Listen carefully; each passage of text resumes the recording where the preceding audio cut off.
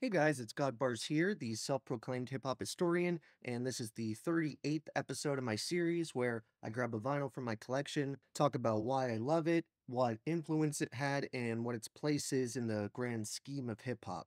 Continuing on with my effort of covering the obvious all time favorites in the genre, this is probably the only album that could have been done before the last two, and nobody would bat an eye. Of course, I'm talking about Ready to Die, one of the two classic solo albums Big would work on prior to his murder. The latter, which was Life After Death, was still completely Biggie's vision, but it would be released just 16 days after his tragic murder, which hauntingly would make Ready to Die the only album he would release while he was alive. However, Biggie accomplished something with this LP that most rappers would spend their entire career trying to achieve, and very few would succeed. In my Illmatic video, I talked about how Nas raised the bar in such a way at the time it made what a lot of the other rappers were doing sound less impressive by comparison. However, Ready to Die was one of the few albums in 94 that was able to withstand that heat. I also mentioned in my last video how Tupac's defining quality, for me at least,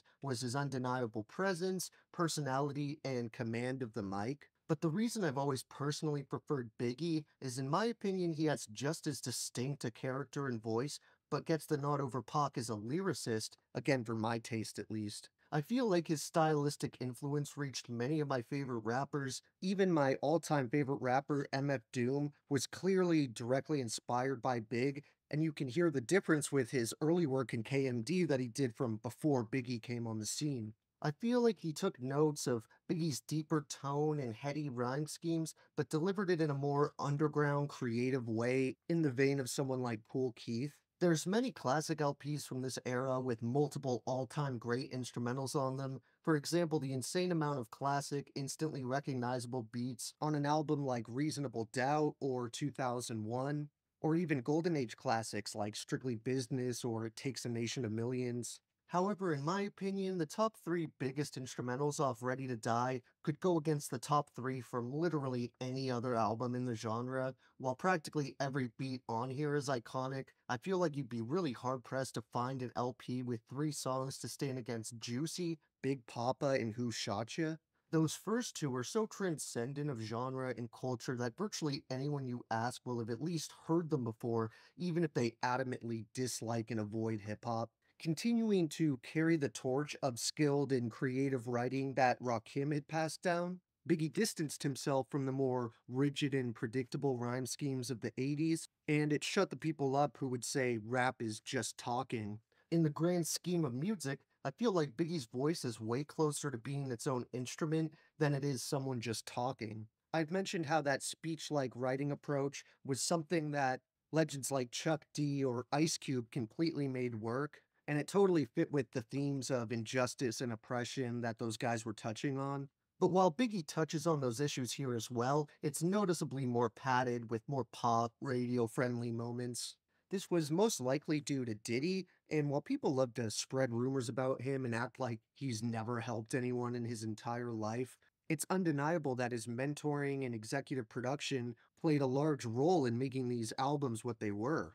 We very well may not have gotten Juicy or Big Poppa if it weren't for Puff, especially since he not only executive produces alongside Mr. Cee, but he assists with beat making on multiple tracks here. However, the real stars for these instrumentals would have to be guys like DJ Premier, Lord Finesse, Easy Mo Bee, Bluez Brothers, Rashad Smith, Poke of the Trackmasters, and Chucky Thompson. Another giant difference between this album and All Eyez on Me is where Tupac's magnum opus is covered in wall to wall features, Ready to Die has only one in the form of Method Man, who is the only rapper who actually had the honor of appearing on both classics, All Eyez on Me and Ready to Die.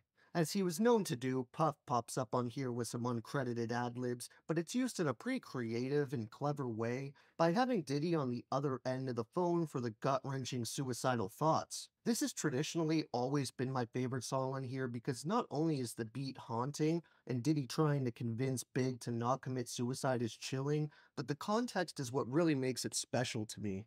This was at a time where suicide had an even worse stigma than today, and it most definitely was not a common casual topic in hip hop. This type of brutal honesty probably made a lot of people uncomfortable, and it would have been much easier and more profitable to leave a song about suicide off this album. But Diddy saw what Big was going for, and I think it's commendable he didn't just opt to leave that song off, fearing for a bad image or rap from the label. He knew the big smash hits would cover the Billboard commercial side of things, so he allowed and even encouraged Biggie to fill the rest of the project with his dense, infectious, and streetwise verses he specialized in. And this blend is what I ultimately believe made Ready to Die such a massive success because I've never heard anyone say this album is whack or aged poorly. It doesn't sound modern or fresh necessarily, but you have to keep in mind at the time hip hop was still growing and finding its sound, and a lot of albums from the late 2000s don't even sound modern. Honestly, a lot of music from even the